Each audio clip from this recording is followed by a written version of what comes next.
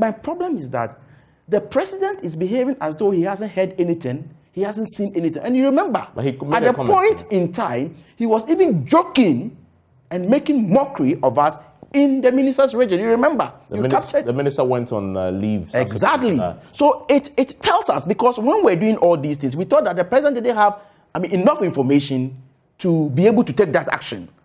But after all this, after going through all these processes, when it has been established and agreed by consensus by the whole house that we should adopt the content of the report, and then the president goes to stand in the region of the the, the, the said minister but and he's is making mockery of that us.